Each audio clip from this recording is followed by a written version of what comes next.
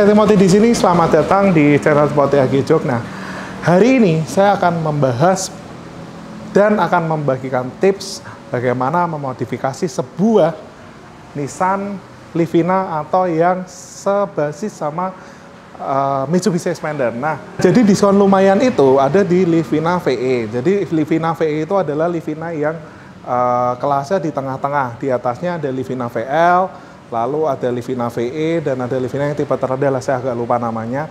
Nah, Livina VL itu diskonnya sedikit. Sedangkan Livina VE, uh, Livina VL itu diskonnya mungkin sekitar uh, sepuluhan lah, sepuluhan something lah. Kalau Livina VE yang tipe agak bawahnya itu diskonnya sampai 40 juta. Maka dari itu tahun 2021 awal itu Livina VE itu luaris banget ya. Jadi kayak kacang goreng karena diskonnya sampai 40 juta itu yang stok tahun 2020. Maka dari itu Livina ini kayak ngehits banget ya waktu 2021 ya karena uh, memang diskonnya lumayan gede. Nah, tapi ada beberapa orang yang memang nggak puas dengan Livina VE-nya karena memang fitur-fiturnya disunat lalu ada beberapa part yang uh, dikurangin uh, kayak misal di bagian bumper ini yang aslinya warna silver itu dikurangin jadi warna trim hitam lalu uh, kayak di sini yang tadinya chrome itu jadi warna hitam uh, lalu di sininya chrome juga jadi warna hitam lalu interiornya yang tadinya warnanya full black ya uh, ada nada wood panelnya itu jadi biasa aja jadi kayak warna coklat. Nah buat sebagian besar orang itu warna coklat tuh kayak kurang oke okay ya. Maka dari itu Livina ini kita modifikasi jadi full black. Jadi yang coklat jadi full black semua. Bagian-bagian yang semua warna coklat kita bikin warna hitam. Nah ada dua macam pengerjaan.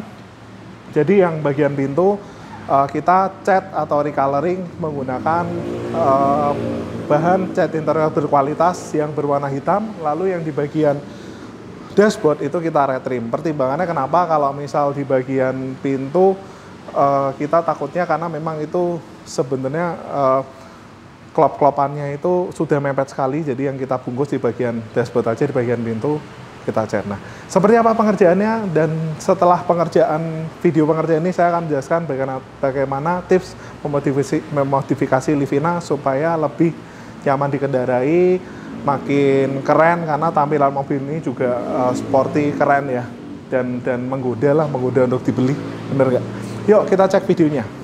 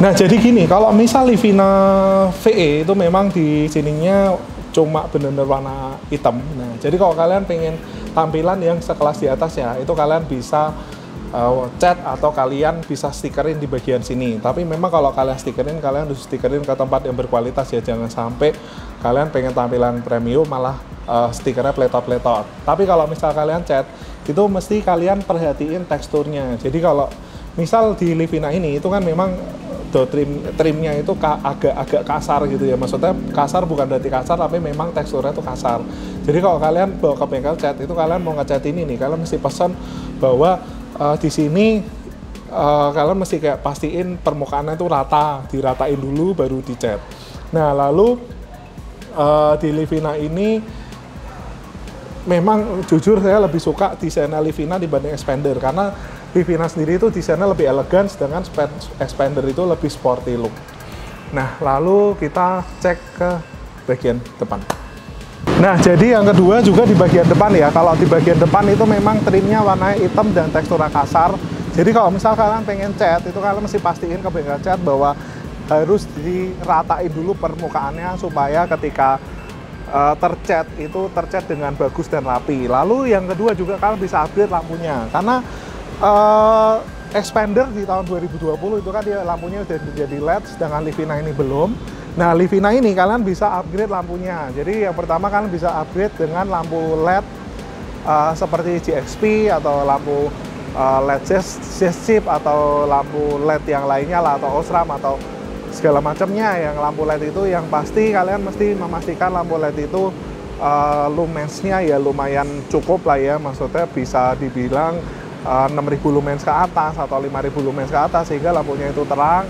Dan apabila kalian yang pengen lampunya itu uh, kayak OEM look nggak terlalu kuning tapi nggak terlalu putih kalian bisa pilih yang 4300 atau 4500 Kelvin. Atau kalian bisa bisa upgrade juga yang warna putih yang 6000 Kelvin. Itu uh, 6000 Kelvin itu menurut saya cakep. Tapi memang kalau dipakai luar kota dia warnanya uh, terlalu putih ya Nah, yang kedua kalian juga bisa upgrade proyektor. Jadi di Livera ini kebetulan upgrade proyektor uh, bisa kalian bisa upgrade proyektor yang dua setengah inch atau yang 3 inch. Jadi tampilannya itu lebih keren gitu ya kayak stiker di atasnya secara tampilan lalu juga lampunya itu lebih terang dan lebih fokus dan sinar lebih padat. Namanya proyektor memang teknologinya lebih maju ya jadi pasti lebih padat Nah sebenarnya uh, di Livina ini dia punya DRL yang cakep banget ya. Jadi kalau misal kalian punya Livina itu DRL menurut saya lebih cakep daripada Expander. Jadi sebenarnya cukup ini aja udah oke okay, karena udah oke okay banget.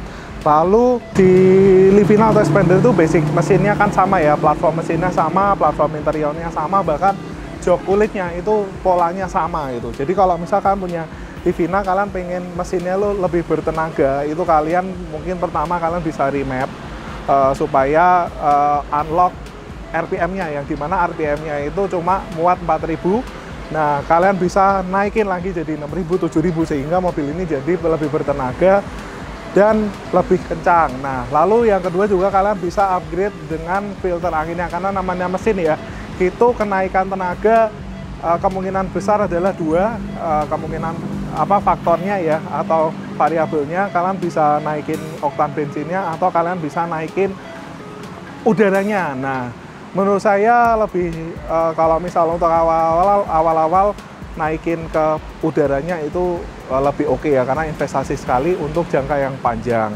Kalau kalian mau naikin bensin ya monggo terserah. Yuk kita langsung cek ke interiornya. Nah ini kita sudah sampai ke segmen interiornya. Nah jadi kalau misal di interior Livina itu yang asli itu warnanya coklat. Jadi beda sama Expander yang Ultimate atau Sport. Dia warnanya itu coklatnya agak coklat tua. Di mana kalau misal coklat tua tuh memang nggak semua orang suka ya ada yang suka ada yang enggak gitu nah kebetulan kalau kalian nggak suka kalian bisa ganti dengan jok atau misal kalian suka tapi kalian nggak pengen gampang kotor namanya mobil ini ya mobil yang uh, dipakai kebanyakan dipakai untuk harian jadi kalau misal mobil ini kalian pakai untuk harian keluarga lah bisa dibilang ya uh, uh, keluar kota juga sering pakai ini itu pastinya kalau misalkan punya anak-anak pasti Eh, interiornya gampang kotor. Nah, kalian bisa alternatif pasang jok kulit seperti ini.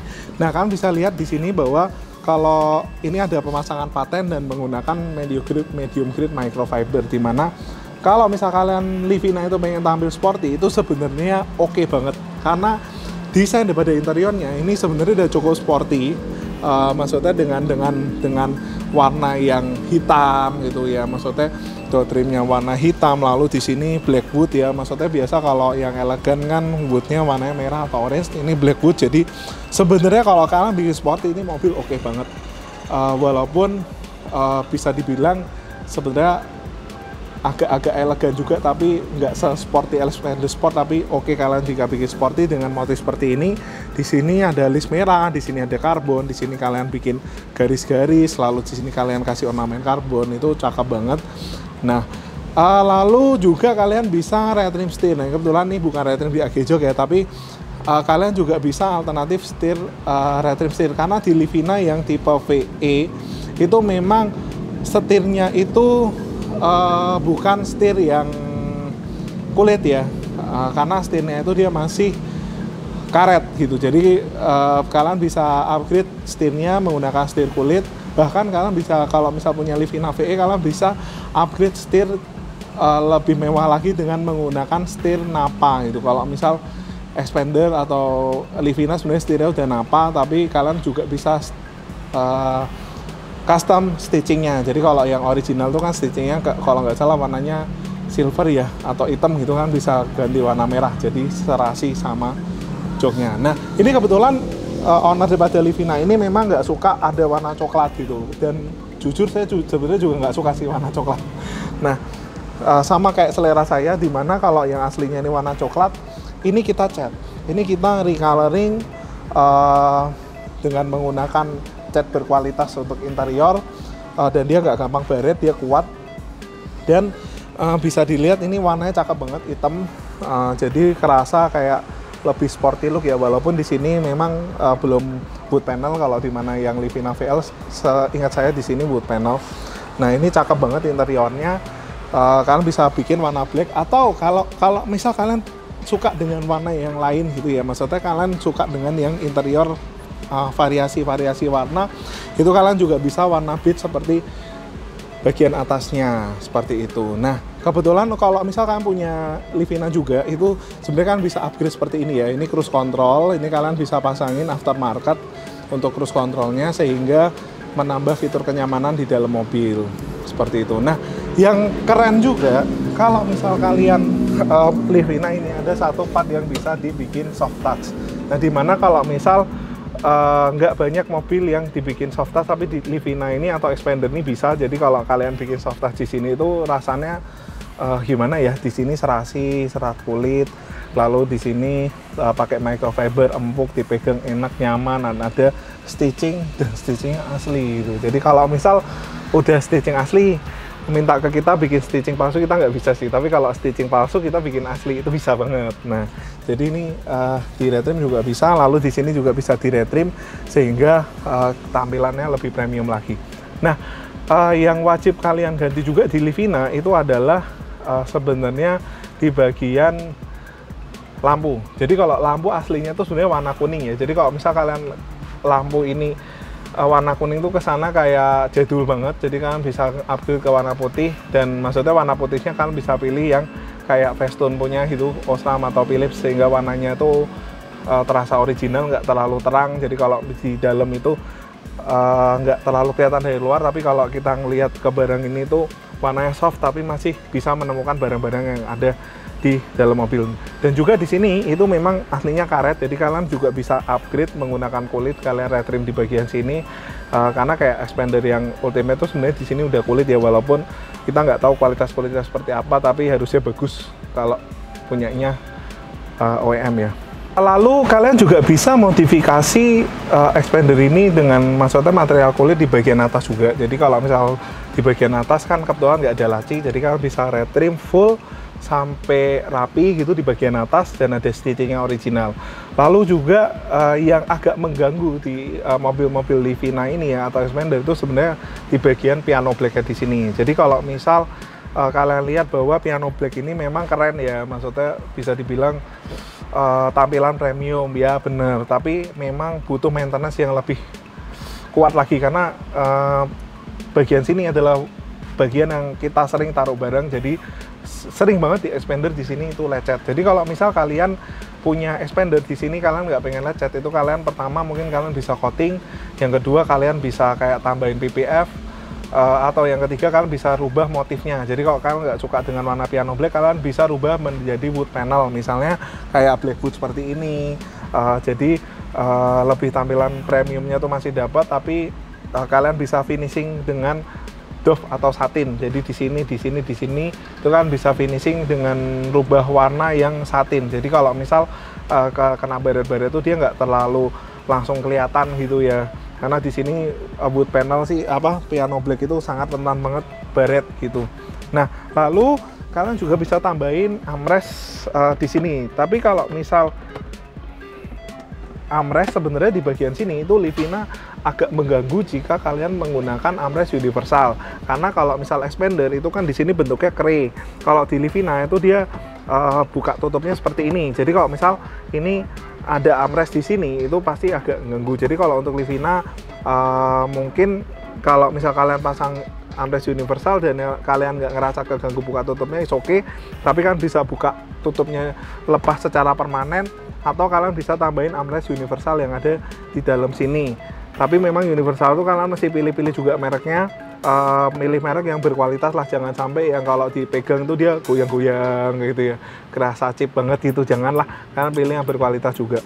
Lalu uh, kalau misal kalian pengen tampilannya lebih sporty lagi itu kalian bisa rubah full black di bagian pilar A, B, C, D sampai di bagian uh, atap. Nah, jadi kalau misal full black itu sebenarnya fungsinya banyak. Yang pertama, uh, kalau misal diganti full black, tampilannya pasti lebih premium, kerasa kayak mobil Eropa. Lalu yang kedua, itu kalau misal kalian rubah full black, itu jadi nggak gampang kotor. Kalau misal warna beige ini kan kelihatan banget ya. Kalau misal ini udah hitam-hitam, ini mungkin kan uh, maksudnya kotoran yang dihasilkan oleh anak kita gitu atau anak kalian itu langsung kelihatan banget di sini. Jadi kayak hitam-hitam gitu ya. Jadi tapi kalau misalkan warna hitam itu lebih lebih isi maintenance gitu. Maksudnya gampang dirawat. Lalu kalau misal kotor nggak kelihatan dan juga kalau dibilang lebih panas sebenarnya nggak juga.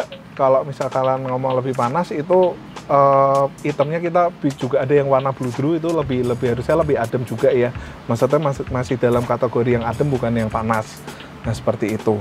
Nah, jadi kalau misal kalian punya expander dan kalian ada budget lebih, kalian juga bisa swap jok yang elektrik punya. Karena uh, bisa juga expander, karena menurut saya expander ini joknya memang nyaman, joknya itu besar. Tapi memang semuanya itu teratur dengan manual ya. Jadi kalau misal kalian suka sesuatu yang otomatis atau electrical, itu kalian bisa upgrade joknya, swap joknya itu menggunakan jok kayak mobil-mobil Eropa, jok mobil Lexus kayak gitu. Karena sebenarnya uh, mobil ini uh, mobil yang cukup nyaman ya. Saya juga pernah duduk di bagian dua, di baris kedua, baris depan dan bagian belakang itu rasanya 11 12 sama Innova. Bener. Jadi mobil ini tuh suspensinya tuh the best lah. Jadi kalau misalkan kalian pakai luar kota, lalu kalian pengen lebih nyaman tuh kalian bisa upgrade joknya menggunakan jok elektrik. Dan kalau misal kalian upgrade dengan jok elektrik, itu kalian mesti putusin kalian mau sambungin elektrikalnya ke aki langsung atau ke ACC. Jadi kalau misal kalian nggak masalah dengan uh, safety, kalian ngerasa pasti aman pakai jok elektrik, uh, is okay kalian bisa sambungin langsung ke aki dan kalau misal kalian nggak masalah dengan uh, umur aki yang bakalan lebih pendek, itu kalian bisa pasang ke aki. Tapi kalau kalian ngerasa saya lebih safety kalau masalah ke ACC. Jadi kalau misal posisi kalian uh, masuk posisi kalian pasang jok elektrik lalu kalian pasang ke aki itu ketika mobil ini dalam kondisi tertutup kalian lock dan kalian taruh di parkiran di luar rumah itu arus listrik tetap ada di sini. Karena saya pernah mengalami juga ketika uh, setelah saya parkir itu uh, di Innova saya itu baunya gosong gitu. Jadi uh, setelah saya cek ternyata dinamonya itu uh, agak terbakar gitu ya. Jadi jadi semenjak itu saya